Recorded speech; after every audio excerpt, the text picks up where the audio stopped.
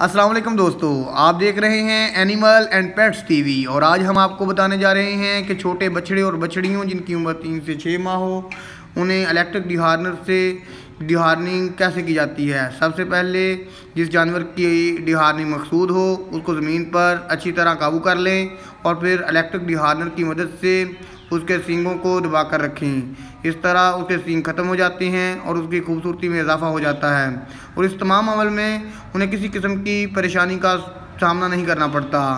मेरी वीडियो देखने का शुक्रिया।